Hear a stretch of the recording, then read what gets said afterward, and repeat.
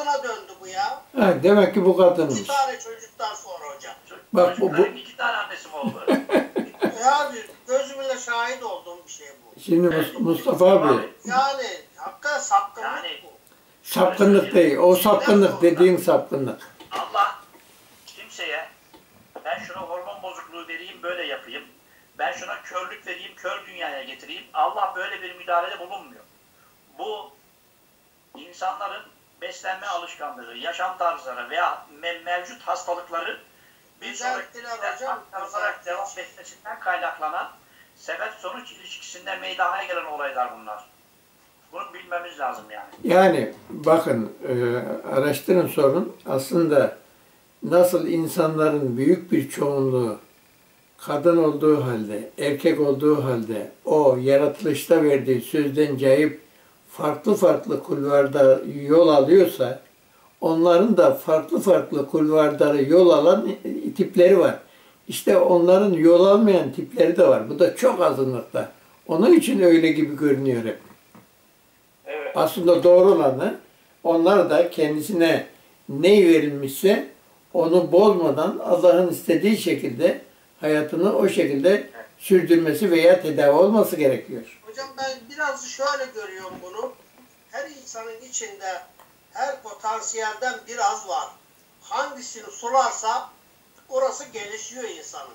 O- orada şunu yakalama yani orada takvayı eğer güçlendirirse Müslüman oluyor, o yönde gelişiyor. İblisi geliştirirse o yönde şeytan oluyor, cin oluyor ama buradaki insanın yaratılışındaki şeyi aslında e, insan e, o ya kadındır ya erkektir. Erkekse erkek fonksiyonunu icra etmesi lazım. Kesinlikle ondan caymadan hayatını icra etmesi lazım. Bu, da onun imtihanı oluyor. E, ama Ama yapıyor hocam. Her ikisini de yapıyor işte, insan işte, işte, işte tedavi olması lazım. Yapmaması lazım ya. Olayı şu anda erkek olup da bunu yapan lutiler yok mu? Onlar ne yapıyor? Bak mesela orada Nuh'un e, karısı hariç orayı helak ettik diyor. Nuh'un karısı Lut'u miydi? De onların içine dahil oluyor bu. Aslında orada Lut Bunu ile destekleyen birisi demek ki. Hayır, lutilik aslında erkeklerle il- ilgili olan bir olay.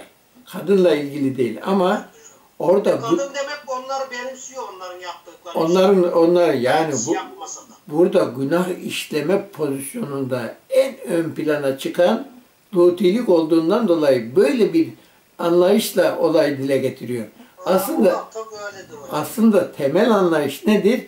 Allah'ın gönderdiği peygamberlere karşı çıkmak, onların söylediklerini yalanlamak. Asıl problem bu. Evet. Bir ayet daha okuyalım. Ondan sonra sonlandıralım inşallah. Vaktimiz geldi. Sizi karanlıklardan nura çıkarması için kuluna apaçık ayetler indiren odur. Şüphesiz Allah size karşı elbette şefkatli olandır, esirgeyendir. Yani ne diyor? Sizi karanlıklardan nura çıkarması için kuluna apaçık ayetler indiren. Nedir? Zaten burada biz bunları kafadan atıp sıkmıyoruz. Bunlar Allah'ın söylediklerinden dolayı biz bunları söylüyoruz. Yani insanlar nerede ne yanlış yaptıysa bu yanlışlıkları tek tek Kur'an ortaya çıkarıyor. Yanlış olanları yapmayın, doğru olanları yapın. Bu doğruyu, yanlışı, hakla batılı, iyi ile kötülüğü, kötüyü e, net bir şekilde ayıran Furkan değil mi bu kitap? İşte onun için bu kitaba uyanlar e, e, cehaletten aydınlığa, bu kitaba uymayan insanlar aydınlıktan hani meleklikten veya yaratılışta verdiği sözden karanlığa, cehalete yöneliyor. Olay bu değil mi? Odur şüphesiz Allah onu ne diyor okuyalım. Şüphesiz Allah size karşı elbette şefkatli olandır, esirgeyendir. Yani burada neden melekler denenmiyor da insanlar deneniyor, sınava tabi tutuluyor? Çünkü insanlarda bu yetenek, bu maharet, bu kabiliyet, bu donanım var da ondan dolayı. Ama Allah bak helal olanları sayıyor. Bütün dilediğiniz kadar yiyin diyor. Ama şu ağaca yaklaşmayın diyor. Orada sadece yanlış olan bir tane ve o, o peşine, onun peşinde giderse insanlar helak oluyor. Doğru olanlar, helal olanlar çok olduğu halde insanlar helalleri bırakıp o haram ağaca, harama yaklaşıyorlar insanlar. Helali yok mu bunun? Helali de var. Niye helali aynı şey olduğu halde helali yapmıyorlar da harama gidiyor insanlar? İşte sapma böyle oluyor. Allah insanları ayetlerle tek tek yanlışlarını düzeltip doğruyla onu dik duruşunu saçlarını tıraş etmeden o mescid-i harama girmesini istiyor Allah. Evet. Hatice Hanım burada diyor ki ayette sizi karanlıklardan nura çıkarması için kuruna apaçık ayetler olur. Biz peki ayetleri gece açsak lamba yerine karanlıklar aydın olur mu? Gelir mi yani? Ee, elektrik lambası kullanmasak. Mecalli bir anlam. Karanlıktan aydınlığa e, yanlıştan doğruya anlatmak. Hani bilgi, yanlış bilgiden doğru bilgiye. Vahiy ışığından bahsediyor Allah burada. Benim anladığım. Evet çok güzel. Eyvallah. Yani e, ikişerli anlatımla Allah diyor ya biz ikişerli bir kitap indirdik. Bir kısmı muhkemdir, bir kısmı müteşabihtir. İşte burada da müteşabih bir anlatım var. Evet. Ee, isterseniz burada noktalayalım. Saatimiz geldi. Ee, ancak 9 ayet işleyebildik. Bugün biraz yavaş gittik. Yarın inşallah biraz daha seri oluruz. Başka eklemek istediklerinizi söylemek istediniz. Buyur Hatice Hanım el kaldırmışsın. Biraz önceki konuyla ilgili bir soru soracaktım Ali Zahir'ime. Acaba doğru mu anladım?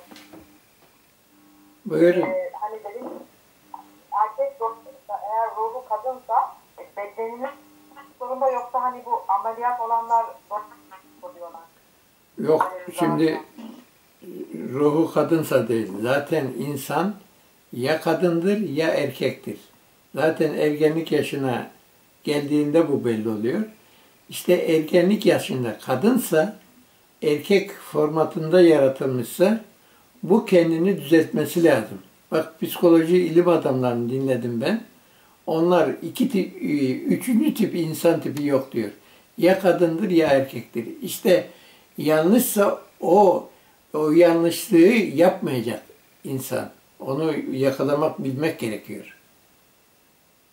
O tedavi olması lazım. O e, ameliyat olması lazım. Kendini düzeltmesi lazım.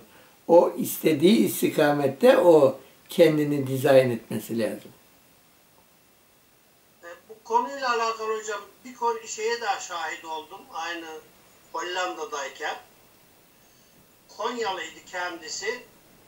E, baya bir şöyle 20 yaşlarına kadar kız gibi giyindi, giyinip bir şey ediyordu. Kız sanıyorduk biz. Çift cinsiyetliymiş hocam. O yani doktor muayeneye gidiyor. İşte kendini nasıl hissediyorsun falan filan. İşte erkek gibi hissediyorum falan diyor bu.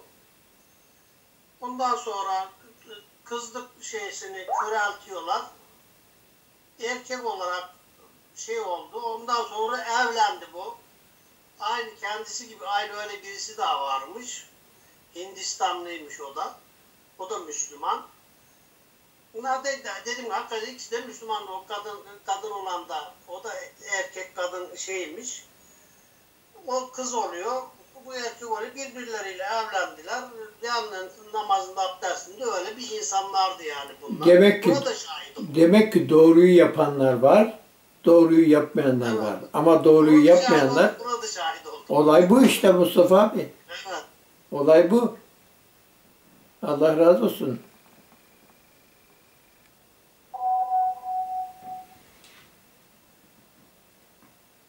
Peki. Başka ilave etmek istediğiniz bir şey var mı arkadaşlar?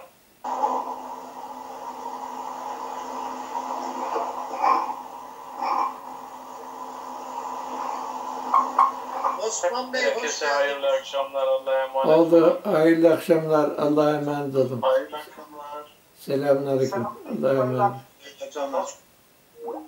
Burada bir video sohbetini daha sonlandırırken yeni bir videoda buluşmak dileğiyle Allah selamı rahmeti bereketi üzerinize olsun diyor.